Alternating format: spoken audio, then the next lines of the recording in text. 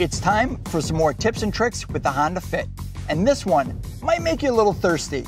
The Honda Fit has plenty of cup holders, but there's one very unique. It's right up here.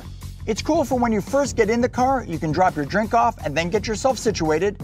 It's also really neat because in the summer, the air blows on it, keeping your drink nice and cool. And in the winter, the hot air blows on it, keeping your drink nice and warm.